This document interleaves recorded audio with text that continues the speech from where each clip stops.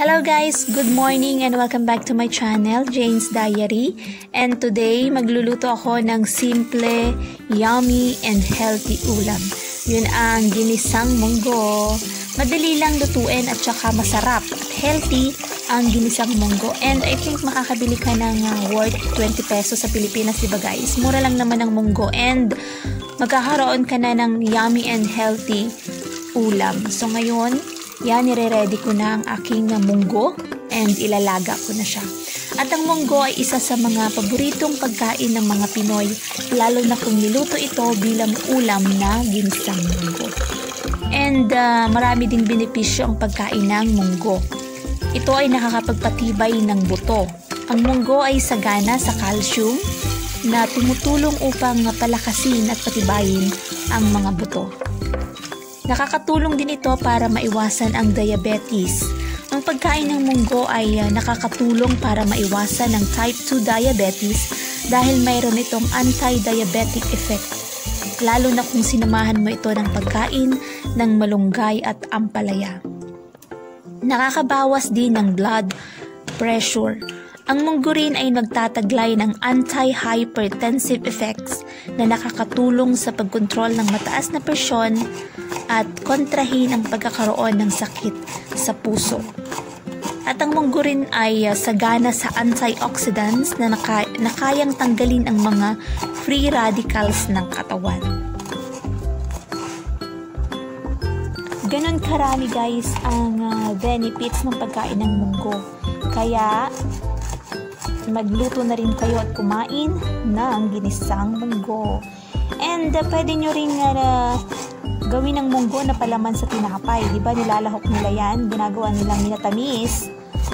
Kaya nasa sa inyo naman kung paano nyo siya lulutuin o anong klaseng luto yung gagawin nyo sa munggo. Pero ang ginisang munggo nga ay healthy, yummy at napakadaling lutuin lamang. So yan lang yung ilalahok ko. Wala akong mailahok na gulay. I mean, hindi ako nakabili ng talbos ng kamote or ampalaya kasi hindi ako nakapunta ng supermarket. So yan lang yung aking lahok, kamatis, onion, and uh, garlic. Yun lang. So, napakasimple lang. Yan lang yung aking simpleng ginisang munggo na yummy and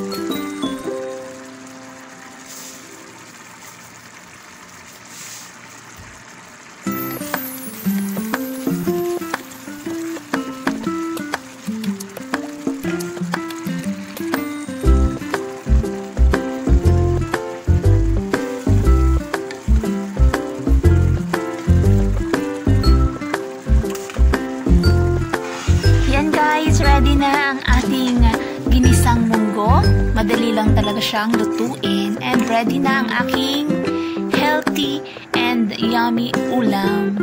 Thank you guys for watching and see you on my next vlog. Bye guys! God bless! Much love! Luto na rin kayo guys ng ginisang munggo.